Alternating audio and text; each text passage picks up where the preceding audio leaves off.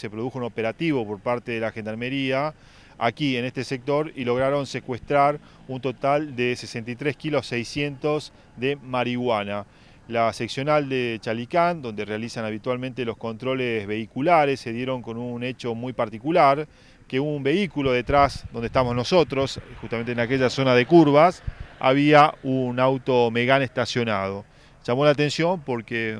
un momento antes habían detenido a un auto tipo eh, eh, Bora, de la marca Volkswagen, donde se procedió a llamar la atención de que este vehículo presentaba eh, cierta normalidad.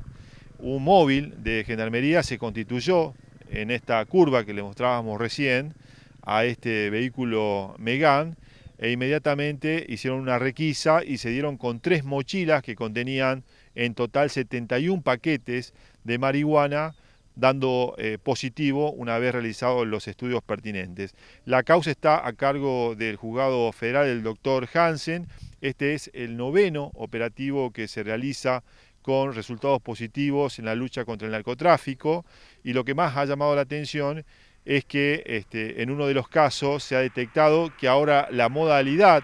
para trasladar sobre todo cocaína lo hacen líquida y eh, ingieren, en este caso la cocaína líquida,